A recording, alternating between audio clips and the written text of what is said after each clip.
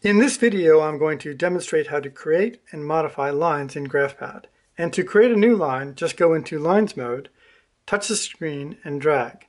And you'll notice as you drag, the length of the line is, is displayed in the length field above.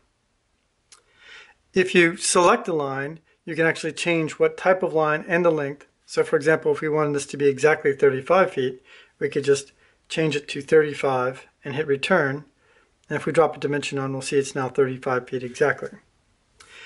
In addition, you can change the properties of a line. So if we select it, we can change the type. If we have a single line, we can, create a guideline or we can put uh, dashes, etc. We can change the width, and we'll notice how as we um, slide through that the width is changed. We can also have a endpoint type, or we can change the color. If you select the endpoint of a line and drag, you'll see that the line is actually created from that and it's snapping at angles. And that's actually controlled under points in the angle snap. So it can either be off 10, 30, or 45 degrees. We can continue to create lines around a perimeter and help us uh, line things up. We'll see magenta guidelines. And if we uh, snap to another line, it'll actually snap closed. Now, if we select a single line, we have a unique type of line that shows up, which is a guideline. If we select that, we'll actually create a guideline um, exactly on top of the existing line. We can then take that guideline and move it to a location.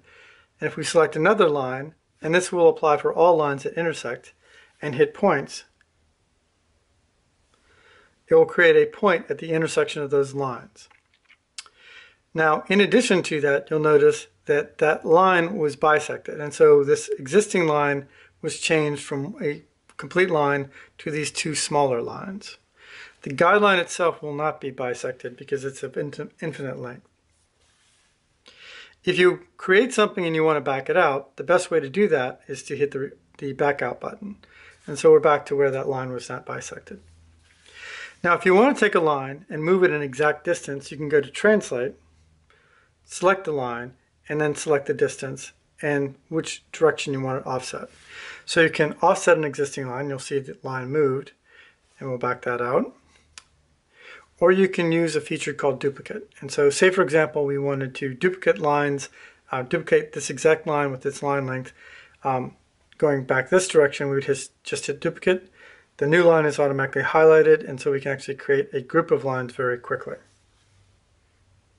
Again, the best way to back this out is with the undo button.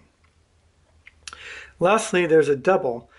Um, and what that will do is it'll automatically offset the line perpendicular to the existing line. Now, if we select a group of lines around in a counterclockwise fashion, counterclockwise, it will actually create those lines inside. If we go in a counterclockwise fashion, it'll create the lines outside.